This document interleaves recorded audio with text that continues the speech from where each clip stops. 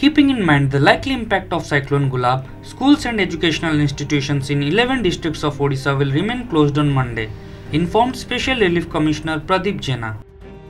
According to the SRC, Chief Minister Navin Patnaik has directed the collectors of Ganjam,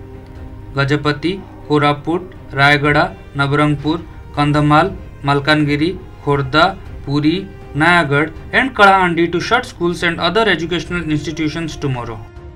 The collectors have also been directed to take appropriate decision regarding the functioning of schools and educational institutions on Tuesday as per the prevailing situation in the respective districts. Here's what School and Mass Education Minister Samir Ranjan Das said in this regard.